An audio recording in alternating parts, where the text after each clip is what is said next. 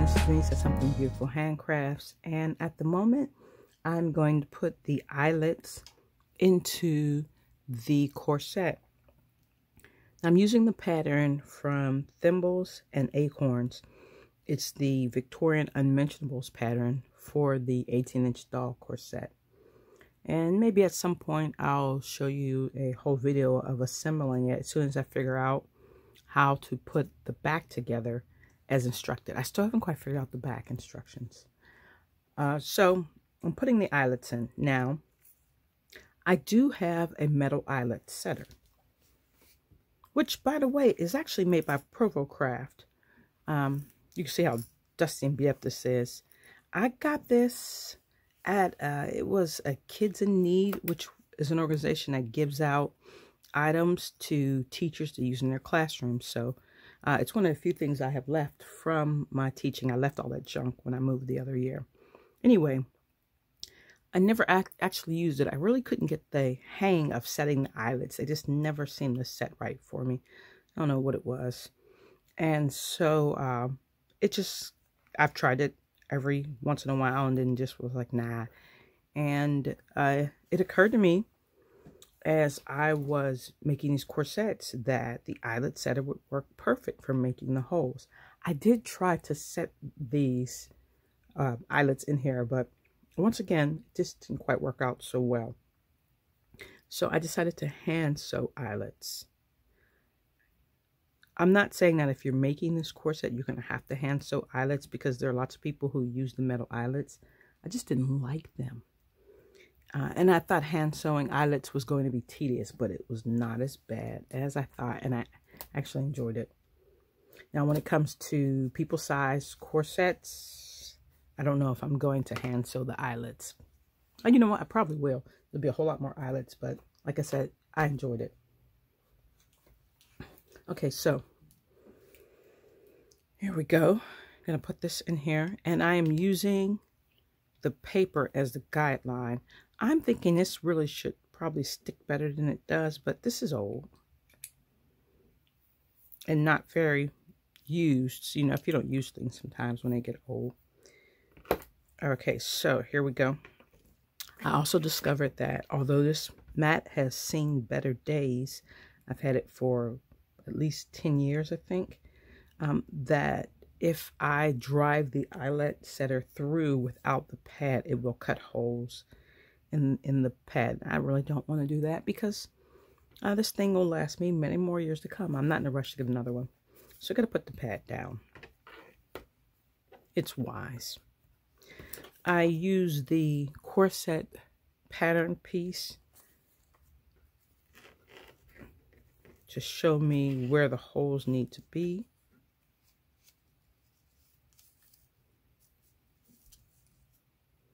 Looks like that one is going to be where the lace is. I wonder if I want to put it, you know, I'm going to put it under the lace.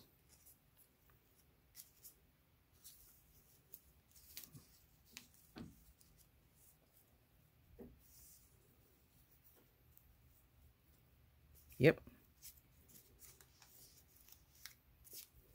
Okay. Now I'm doing this before I put my boning channels because I'm going to put the boning channels around. Let's see if that's right. I'm going to put the boning channels around the holes. And I'm making the holes a little smaller. The eyelet holes a little smaller than these holes because they will stretch out. So you just give this a nice press. And it will. Uh, see, I told you it pops off a little, but it'll cut through the fabric.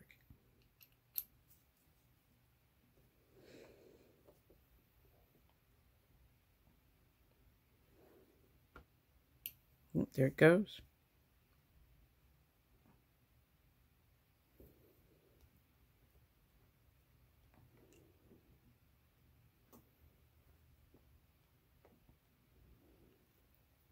You just have to give it a little work.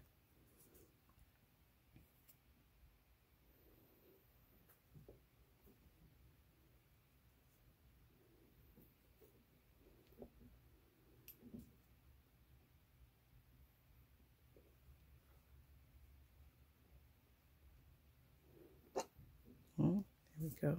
Kind of pops out, but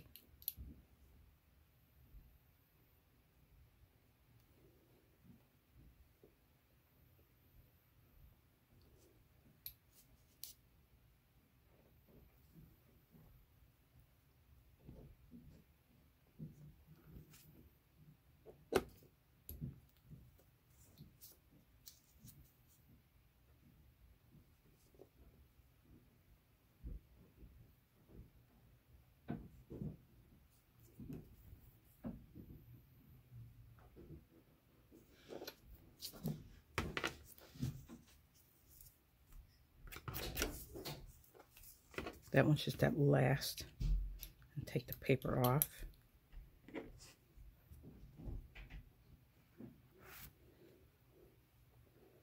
Okay, there we go. Now they're in there nice and clean. I'm going to do the other one. Then I'm going to show you how to stitch one of the eyelets. Then I'm going to put the boning channels in.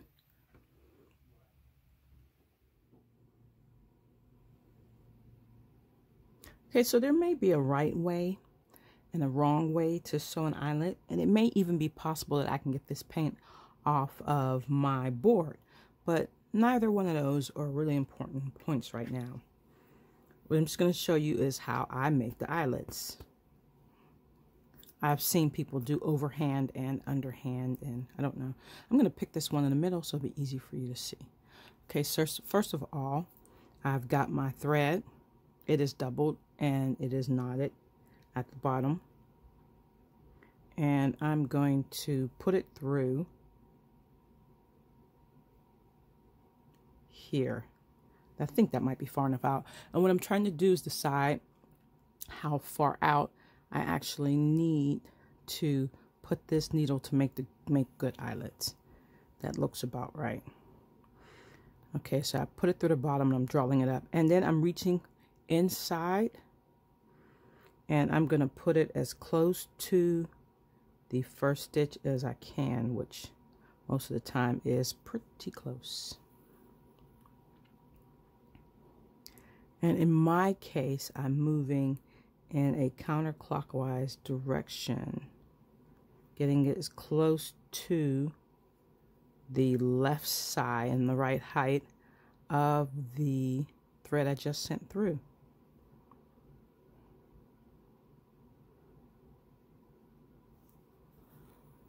And sometimes I don't get it right and I have to make a second pass. But that is okay. Sometimes I have to poke around a bit.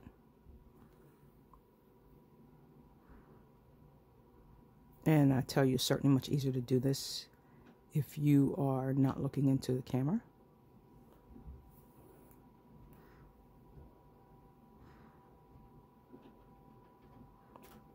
And of course, the higher quality thread you have, the better all of this is.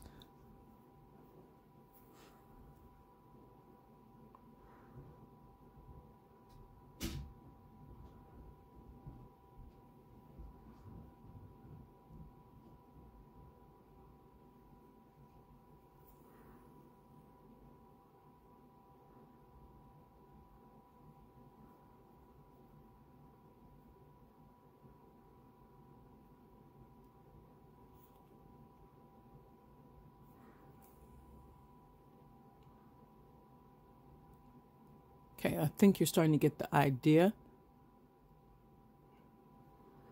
Let's see, that looks better from that angle. And I'm just going all the way around till I get to the end. When I get to the end, I just slip it underneath the beginning, the little row that's being made under there.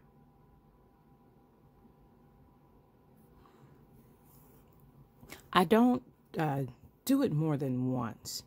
I'm thinking that maybe if I was making a pair of stays for, or a corset for myself, that's kind of what it looks like underneath. If I was doing it for myself, I might go twice around because it's going to actually bear the weight of a person pulling. But for the doll, I mean, she's not going to be pulling. And to be honest, neither am I.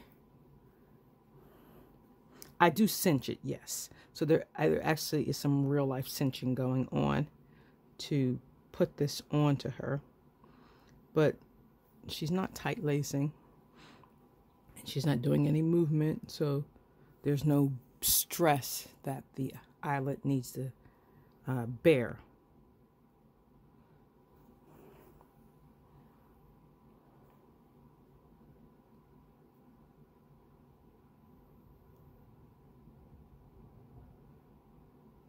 I'm pretty uh, obsessive when it comes to putting it in the right spot. So I'll poke around a bit if I have to to get it in that spot. This thread right here is uh, Crayola thread and I actually got it when uh, local Pat Catan's was closing.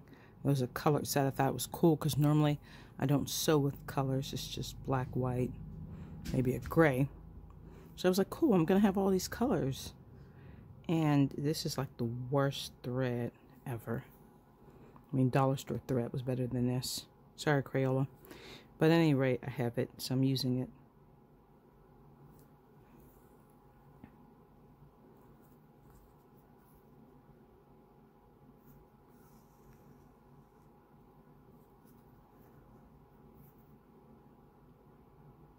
Okay, so basically, I'm coming to an end. And I've done pretty good, except for over here is a little short. That's the pitfalls of looking into a camera while you're doing things.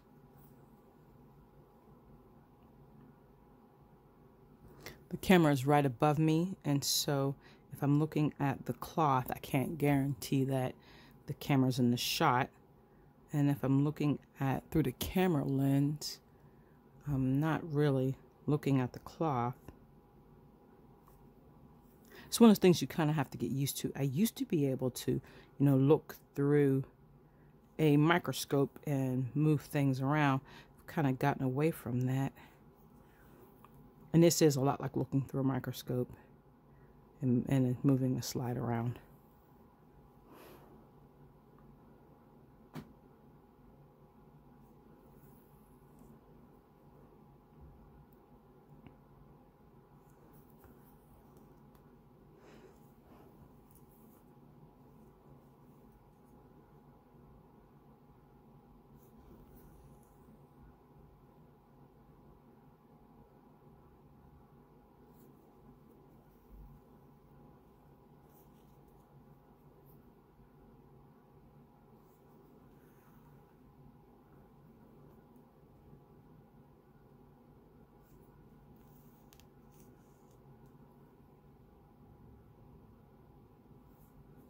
Okay, we're on the home stretch.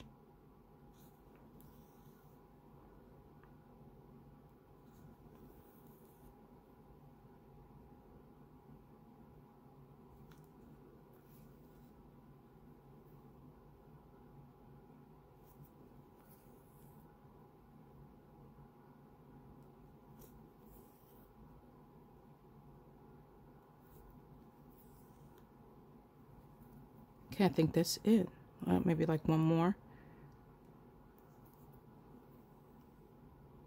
Okay, that's not so bad. Let me turn it around.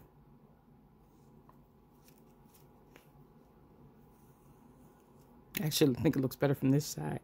And I just run this under.